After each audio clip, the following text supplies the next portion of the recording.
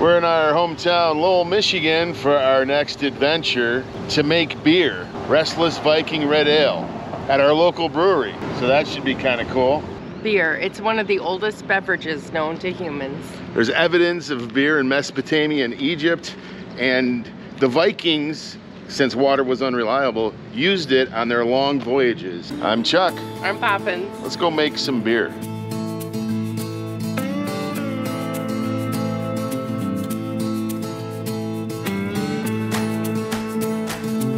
So we are here at uh, Big Boiler Brewing with the head brewer Danny.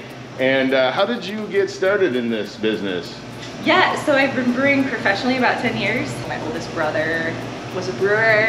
I started homebrewing with him and then ended up in Costa Rica uh, volunteering on a monkey farm, kind of backpacking, traveling Central South Monkey America. farm? yeah, kind of lived out of my backpack and a tent and ran into these guys uh, in an area where I was volunteering who had a brewery. Ironically, they were from the States. I Asked if I could hang out with them just to see the process. They asked me to come back uh, on as like an intern assistant. Uh, told me they paid me $4 an hour, which is as bad as it sounds. So let me get this straight. You're an adventure brewer who was traveling the world. You went to a Central American country Yeah. and you said, hey, can I have a job? And then you became the head brewer of some place in the jungle. on the beach in the jungle, yes, exactly. Ladies and gentlemen, this may be the first brewer I've met that probably is related to a cartel. Maybe, who knows? Danny describes herself as one of the few beardless brewers. She may have gotten her professional start in the sweltering heat and humidity of Central America, brewing over an open flame, but she is serious about standards, the process, and the science. We were immediately impressed and awed at our luck in meeting her. So here uh, we're doing a red ale for the Restless Vikings. Yeah. Red ale is known obviously for the color. It's not super hop forward just because of the climate wasn't known for, you know, growing straight hops. So um, this is what they use to kind of get their color, their body, and that's what we're gonna represent here today. Roasted barley is traditional to throw in to get that color. The Munich one, I lied to you. This is Munich one right here. So you have to be a bit of a mathematician to get this right. A little bit, yeah, a little bit of science there, yeah. We want to And with that, it was time to haul in a few bags of malt, discuss a process I know very little about, adjust the temperature, make sure everything is set, and turn the hot water on. We started by dumping part of a bag of malt. Then I had to deploy my years of experience, expansive worldly knowledge, and deep professional background to stir. A lot. In fact, it seems like brewing is mostly just stirring. I hope you all appreciate all the labor I'm doing so you can enjoy a Restless Viking Red.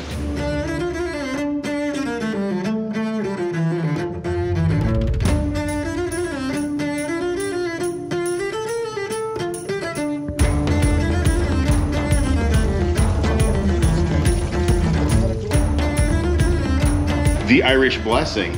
May the skin of the gooseberry always cover the head of your enemy. May the road rise to meet you. May the sun always be at your back and may your dinner plates be full. May you be in heaven a half an hour before the devil knows you're dead.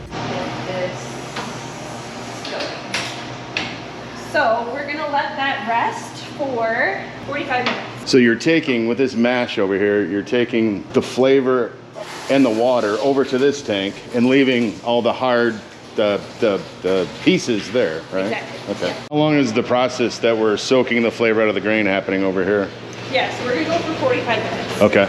Then we're, we're gonna um, do what's called a vorlauf. Okay. That kind of like a natural filtration. We're gonna drop through the grain bed down there, through into the grant, and then recirculate so that we're getting a nice even filtration throughout the entire mash. Steam your beer. So Danny was just uh, squeegeeing the floor, getting some of the excess water off, and then she suddenly just goes up the stairs and turns the water off because her ears told her that it was full. That, that So what's Restless Viking Red gonna look like? Well, here's the tap handle. All of our work for today was to extract sugars that will ferment. We sprinkle hot water on the grain, which extracts sugar from the malt. Then we recirculate the liquid to extract more sugar. Uh, we're gonna go ahead and slowly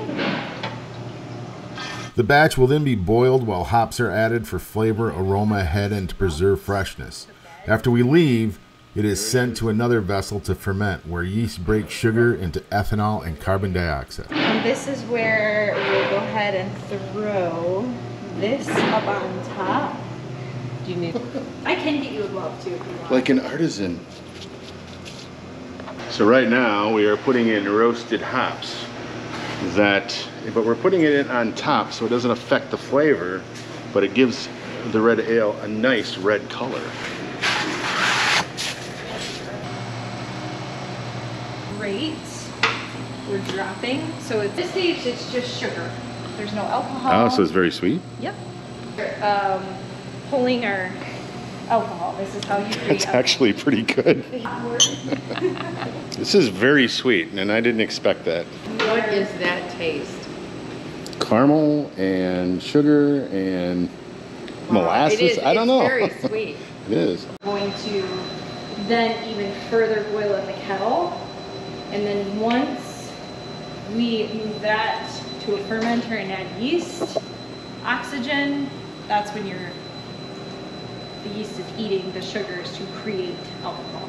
Oh yeah, that's that is yeah. So we know we've got red. How dark it'll be, we'll see.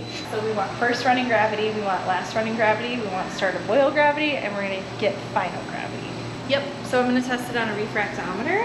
Um, actually, we are gonna let it cool a little bit before I throw it on here. So that's the refractometer. Yep.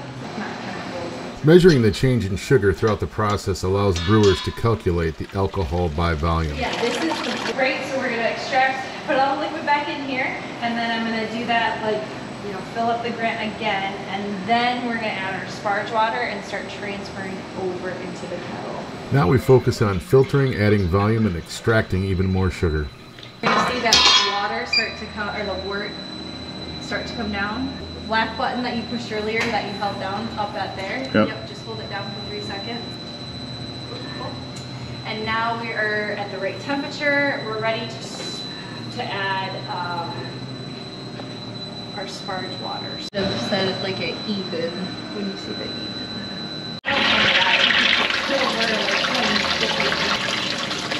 Customers are showing up for their burgers. We brought it over to get boiled. And then after the boil, it's going to, how long is it gonna boil? About an hour? Yep, an hour. Then it's gonna move over to there. Yep. In about three weeks or so, um, then we'll wash the kegs out, bring the kegs out, fill them full, and then, and then we'll have a tap party. So Danny, this has been very exciting. I've learned a lot today. Thank you for having us here. Thank you guys. So this is Danny, I'm Chuck. I'm Poppins.